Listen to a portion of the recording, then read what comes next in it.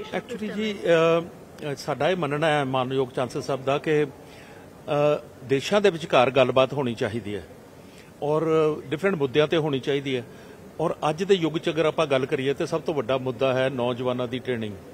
youth empowerment woman empowerment social issues ਇਹ ਸਾਰੀਆਂ ਗੱਲਾਂ ਔਰ ਇਹ ਸਾਰੇ ਦਾ ਜਿਹੜਾ ਮੂਲ ਮੰਤਰ ਹੈ ਮੂਲ ਉਹਦਾ ਹੈਗਾ ਉਹ ਹੈ ਸਿੱਖਿਆ।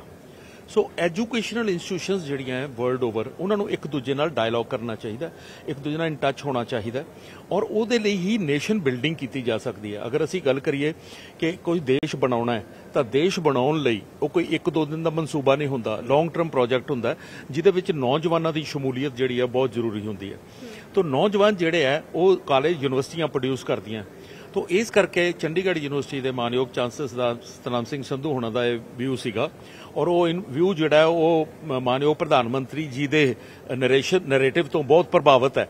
ਕਿ ਸਾਨੂੰ ਯੂਨੀਵਰਸਿਟੀ ਨੂੰ ਅੰਤਰਰਾਸ਼ਟਰੀਕਰਨ ਦੇ ਵਾਲੇ ਪਾਸੇ ਵਧਣਾ ਚਾਹੀਦਾ ਇੰਟਰਨੈਸ਼ਨਲਾਈਜੇਸ਼ਨ ਔਰ ਉਹਦੇ ਬਹੁਤ ਸਾਰੇ ਪਹਿਲੂ ਹੈ। ਉਹਦੇ ਪਹਿਲੂ ਹੈ ਕਿ ਅਸੀਂ ਵਿਦੇਸ਼ੀ ਵਿਦਿਆਰਥੀਆਂ ਨੂੰ ਲਾਈਏ ਮੈਨੂੰ ਬੜੀ ਖੁਸ਼ੀ ਹੈ ਕਿ ਸਾਡੇ ਕੋਲ 69 ਦੇਸ਼ਾਂ ਦੇ ਬੱਚੇ ਪੜ੍ਹ ਰਹੇ ਆ ਸਾਡੇ ਬੱਚੇ ਬਾਹਰ ਜਾਣ। ਬਾਹਰੋਂ ਅਧਿਆਪਕ ਆਉਣ, ਸਾਡੇ ਅਧਿਆਪਕ ਬਾਹਰ ਜਾਣ। ਪਰ ਉਦੋਂ ਵੀ ਜ਼ਿਆਦਾ ਜ਼ਰੂਰੀ ਹੈ ਕਿ ਜਿਹੜੇ ਸਿੱਖਿਆ ਦੇ ਮੁਖੀ ਹੈ,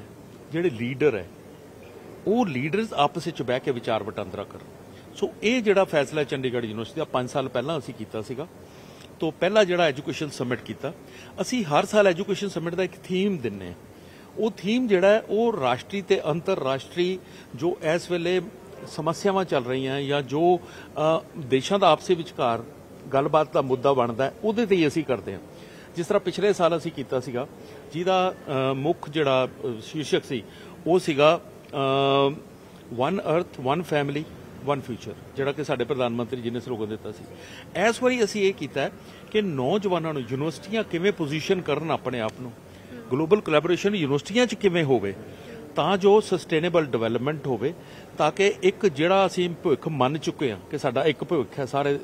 ਮੁਲਕਾਂ ਦਾ। ਉਹਨਾਂ ਮੁਲਕਾਂ ਦੇ ਵਿੱਚ ਲੋਕਲ ਜਿਹੜੀ ਮੈਨ ਪਾਵਰ ਅਵੇਲੇਬਲ ਹੈ ਲੋਕਲ ਟੈਕਨੋਲੋਜੀ ਅਵੇਲੇਬਲ ਹੈ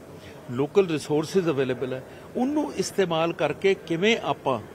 ਸਸਟੇਨੇਬਲ ਡਿਵੈਲਪਮੈਂਟ ਕਰ ਸਕਦੇ ਹਾਂ, ਉਹ ਗੋਲ ਪ੍ਰਾਪਤ ਕਰ ਸਕਦੇ ਹਾਂ ਪਲੱਸ ਅਸੀਂ ਉੱਥੋਂ ਦੀ ਨੇਸ਼ਨ ਬਿਲਡਿੰਗ ਕਰ ਸਕਦੇ ਹਾਂ। ਵੇਖੋ, ਅਗਰ ਭਾਰਤ ਦੀ ਗੱਲ ਕਰੀਏ ਤਾਂ ਕੋਈ ਅਮਰੀਕਾ ਦਾ ਬੰਦਾ ਆ ਕੇ ਸਾਡੀ ਨੇਸ਼ਨ ਬਿਲਡਿੰਗ ਨਹੀਂ ਕਰ ਸਕਦਾ। ਜੇ ਅਸੀਂ ਕਹੀਏ ਤਾਂ ਅਸੀਂ ਕੀਨੀਆ ਦੀ ਨੇਸ਼ਨ ਬਿਲਡਿੰਗ ਨਹੀਂ ਕਰ ਸਕਦੇ ਪਰ ਅਸੀਂ ਕੀਨੀਆ ਨਾਲ ਸਲਾਹ مشورہ ਕਰਕੇ ਜੇ ਮੇਰੇ ਕੋਲ ਟੈਕਨੋਲੋਜੀ ਹੈ ਮੇਰੇ ਕੋਲ ਇਨੋਵੇਸ਼ਨ ਹੈ ਮੇਰੇ ਕੋਲੇ ਕੋਈ ਇਸ ਤਰ੍ਹਾਂ ਦੀ ਜਾਣਕਾਰੀ ਹੈ ਮੈਂ ਉਹਨਾਂ ਨੂੰ ਦੇ ਸਕਦਾ ਅਸੀਂ ਅਮਰੀਕਾ ਤੋਂ ਲੈ ਸਕਦੇ ਹਾਂ ਯੂਐਸ ਤੋਂ ਲੈ ਸਕਦੇ ਹਾਂ ਯੂਐਸਐਸਆਰ ਤੋਂ ਲੈ ਸਕਦੇ ਹਾਂ ਵਗੈਰਾ ਵਗੈਰਾ ਸੋ ਜਿਹੜਾ ਮੁੱਖ ਉਦੇਸ਼ ਹੈ ਇਹਦਾ ਇਹ ਹੈ ਔਰ ਮੈਨੂੰ ਬੜੀ ਖੁਸ਼ੀ ਹੈ ਕਿ ਮੇਰੇ ਸਾਥੀ ਜਿਹੜੇ ਆ ਡਾਕਟਰ ਰਾਜਨ ਵਿਸ਼ੇਸ਼ ਕਰਕੇ ਮੈਂ ਉਹਨਾਂ ਦਾ ਨਾਮ ਲੈਣਾ ਚਾਹੂੰਗਾ ਸਾਡੇ ਡਾਇਰੈਕਟਰ ਇੰਟਰਨੈਸ਼ਨਲ ਅਫੇਅਰਸ ਹੈਗੇ ਆ ਉਹਨਾਂ ਦੀ ਮਿਹਨਤ ਦਾ ਸਦਕਾ ਸਾਡੇ ਕੋਲੇ 60 ਤੋਂ ਵਧੇਰੇ ਐਕਸਪਰਟ ਜਿਹੜੇ ਆ, ਜਿਹੜੇ ਚ ਚਾਂਸਲਰ ਵਾਈਸ ਚਾਂਸਲਰ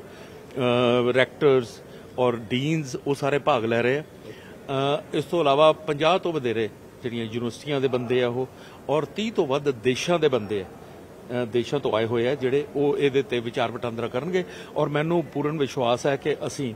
ਕੁਝ ਨਾ ਕੁਝ ਐਸੀਆਂ ਯੋਜਨਾਵਾਂ ਬਣਾ ਕੇ ਦੇਵਾਂਗੇ ਸਟਰਕਚਰ ਬਣਾ ਦਾਂਗੇ ਤਾਂ ਜੋ ਜਿਹੜੇ ਆਉਣ ਵਾਲੇ ਸਮੇਂ ਦੇ ਵਿੱਚ ਦੇਸ਼ਾਂ ਨੂੰ ਵੀ ਮਦਦ ਹੋਵੇ ਔਰ ਨੌਜਵਾਨ ਜਿਹੜੇ ਉਹਨਾਂ ਦੀ ਟ੍ਰੇਨਿੰਗ ਹੋ ਸਕੇ। ਬਹੁਤ ਧੰਨਵਾਦ।